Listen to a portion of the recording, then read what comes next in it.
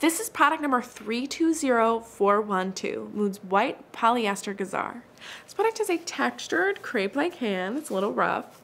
It doesn't have any stretch and is totally translucent with a structured bouncy drape. I think this would be really cute as the top layer on a nice poofy golden skirt.